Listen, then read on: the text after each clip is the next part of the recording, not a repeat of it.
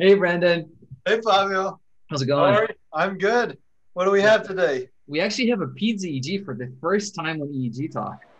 Oh, well, you know, I a wise teacher once told me that uh, children are just small adults, so we're in good shape. Mm, not really sure about that. Ah, well, I have an idea. Okay. I have this friend uh, from hell. We can summon him if you know the right incantation. Let's do it. Wah, wah, wah, wah. Oh, Uh, I can't. I can't see anything. there's fire coming out of your eyes. My Dr. eyes are still Peters. blank. Welcome. Ah, there you go. Ah, better. Jurriaan, welcome. You're, Fortunately, uh, I heard you're an expert on pediatric EEG, even uh, though you're living down in the underworld now. Right. Well, I'm kind of a kid myself, so that helps. awesome. Help us You're, out. you're the very first Pete's guest on our show, Jurriaan, so we're really excited. Excellent. Thank you. All right, so let's do it. What uh what do we have here? It's kind of interesting because it has a spike in there that uh, that may not be um, easy to understand when you take a first glance at it. I don't think it's necessarily a pediatric EEG phenomenon. So Hmm. Um, as you can see, we have a, uh bipolar, AP bipolar montage, and um, um, we have a uh, the temporal chain here on the left side, and the temporal chain on the on the opposite, and then the parasagittal chain left, parasagittal chain right, and then the midline. So we're looking basically for a line symmetry along this line, as you know, and then uh, you can see that the patient is awake because there's some eye blinks and some muscle. Mhm. As the patient falls asleep, you can see some slow eye movements Okay. here, Yeah. and uh, the uh, patient is uh, is basically uh, starts to rove the eyes a little bit, and the uh, muscle activity is disappearing. Now, e- pediatric EEGs are different than adult EEGs because there's an evolution. They change over time because the brain is developing. Okay. Um, but another kind of more global difference is that the voltages are are higher, and often just these these uh, these EEGs are more dramatic. Mhm. Um, and I'm talking uh, like, for example, doing an outpatient EEG of an Alzheimer patient, right, where you have to kind of squeeze to see an alpha rhythm, or um, you have to have them hyperventilate to, to bring out certain things. And, and, and pediatric EEGs, especially in toddlers, are just wilder. They're more noisy, but they're also, there's much more to see, so they kind of catch your eye. So I, I like pediatric EEGs for that uh, reason. So here we see a nice example of SEM, slow eye movements Mhm. the patient is drowsy, and we can see that the uh, that the posterior dominant rhythm here is starting to kind of wax and wane. Mhm. And How old is this kid again, Jurriaan? I forgot to look at the chart this time around. I got so excited with you coming. this one in. is actually a little bit older. This is like an 11 year old. So, and then here uh, we can see that some real dropout of the uh, of the background frequencies. Uh-huh. The patient wakes up a little bit again. Here's a burst of slowing that that in itself, I you know, Mhm. I would probably pass related to drowsiness. So far, normal, really, within normal limits, I think. Yeah. Exactly. And um, I'm going to go a little faster as, we st- keep staring at the screen here. We've got some sleep transients coming in. Exactly. Here's some early vertex wave, and then the patient wakes up Uh-huh. and drowses off again. I'll stop with a. Here's some nice, nice vertex waves, and perhaps there's some slowing here, but then you can't look at slowing during that vertex wave, of course. Wow, these are dramatic. Yeah, Just kidding. yeah. So far, like adults. Uh, Confirming my theory. Here's another one of those bursts, and this time it's even more innocuous. I don't see any sharp elements mixed in. Right. And um, So far, so Oh, there's a vertex wave. This one is a bit sharper than that. uh, Sorry, this one is a bit sharper than that one, but so far nothing to write home about. I oh shoot, I was already writing the letter. Just hold your horses because it will come. I think it's a normal. It's a normal EEG. No, No. I, yeah, no, I think this kid's gonna be. there's some stuff. And it gets Oh, better. wait a minute. Hmm. What is this? So here are some some some some things that are not entirely normal, and we have some more examples of that elsewhere. Okay. And they are not posts. I was gonna say maybe they're posts, but they don't really look like posts too No, much. they're broad, they extend all the way to PZ, Mhm. but these spikes are kind of hanging and they don't reverse. If I put my um, my uh, laser eyes on, they they're the spikes that reverse nowhere. So that's kind of a tribute to uh, Frank Duffy, um, one of our EEG uh, founders that um, um, who turned 84 this week. wow. Nice. And he called it the spike that reverses nowhere, but then people start to uh, to sigh because he's been telling about these spikes for um, a long time. Here's another um, example. These are not vertex waves. Here's your vertex waves, just to contrast it. And this this one is a bit better, although they are horribly narrow. So it's not really my favorite type of spike because it's almost so narrow that you would be a bit skeptic, but it meets maybe some of your other criteria with a slow wave follow. Yeah, no, these are needle-like little spikes. They look a, they're not in the right place to be Rolandic spikes, but uh, maybe it.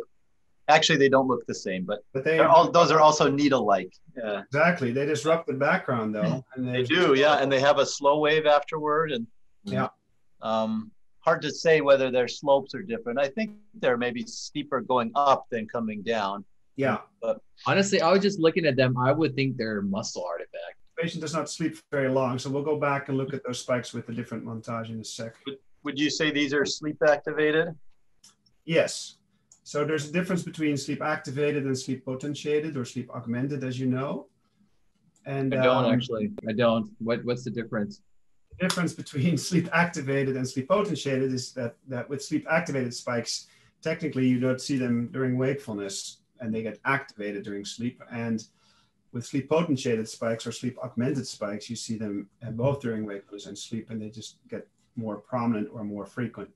Gotcha. Now here I would call them posts without too much uh, ado, but they are they're too big. They're, they're I- Is I don't know if this is a correct use of the term, but would you could we call this dyshormia?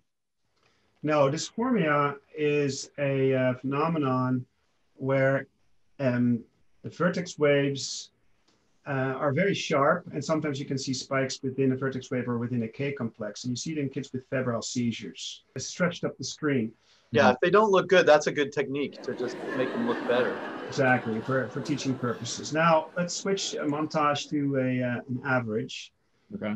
and then you'll see an interesting phenomenon because now they are here and they're facing downwards in the posterior leads Okay. and they're facing upwards in this uh, in the anterior leads Hmm. now of course if the spikes are of high enough voltage then you can get con- contamination of your average reference you have to be a bit careful but this is basically a phase reversal or the opposite of a phase reversal, but it's a phase reversal in the average reference. And this is actually, here's a nice example. Up, Mhm. up, and down, down. Hmm. What's your conclusion? The conclusion is that this spike is has a horizontal dipole, or it's a tangential spike. So the posterior portions of the head are positive, and the anterior portions of the head are negative. So if you go from the front to the back, um, or so actually easier to think of um, from the back to the front. In order to get a phase reversal, you need to go through a negative minimum or through a negative maximum, right? You need an upslope and a downslope, or a downslope and then an upslope. And if you don't go through the uh, entirety of that maximum negativity or maximum no, positivity, then you don't have the other side of the phase reversal. So here, from O2 to P4 is Mhm. from very positive to a little less positive. And from P4 to C4 is from very positive to somewhat, um, you know, more. And here's even more negative, and there's even more negative. So we go from very, very positive to very, very negative. Spikes are right central, and uh, they are um, uh, forward facing, meaning that if you would draw this as a dipole, that the, post- the positive end of the dipole would be in the back. So kind of the opposite of a Rolandic spike. Does that does that help us uh, clinically though? Does that is it suggestive of any? It does because so this this could um, so you can imagine that normally if you have um, um, the the, the little dipoles that you have that sum up to form a big dipole Mhm. and in the net orientation of the cortex, if you have a sulcus and on one bank the voltages go in and on the other bank the voltages go out, then normally they cancel each other out. Oh wow, that's that is. So in the sulcus, Uh-huh. this one, you know, projects. Hold on, I need to do it mirrored. This one projects there, and this one projects there. This is why I didn't become a surgeon. I, can- my 3D Uh-huh. set. Anyway, they can, these guys cancel each other out. But if you have Uh-huh. uh, one bank, for example, resected, then all of a sudden, these dipoles are no longer opposed, and you can get a horizontal dipole. So if this is a resection cavity, a cyst, or simply cortex that is not involved, like the reason why it is uh, a horizontal dipole in Rolandic epilepsy. So if you would have a source that would span a big sulcus, the orientation of the dipole with the positivity in the back of the head can actually tell you that the um, dipoles are facing. Um, so it must be then the posterior bank, right? Because the net orientation is forward. If you would see as the dipoles as a flashlight looking forward, Uh-huh. and then the positive end would be at the back, then they have to sit on on an ingoing sulcus or ingoing structure um, with the positive end in the back. Oh, can you see it? Okay, red, Yeah. red Yeah. dipole Yeah. and blue Uh, dipole, right? Oh wow.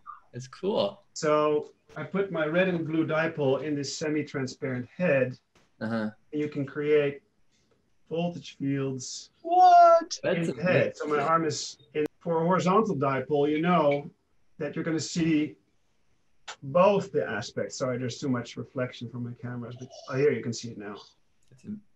It's beautiful. Right? So that's horizontal because you can see both aspects of the dipole. Love it. That's great. It's a great way to teach. Um, Yeah, exactly. I use your it fellows appreciate that. when I give my talk on uh, on on source local. Are you are you listening, Brendan? His fellows appreciate that.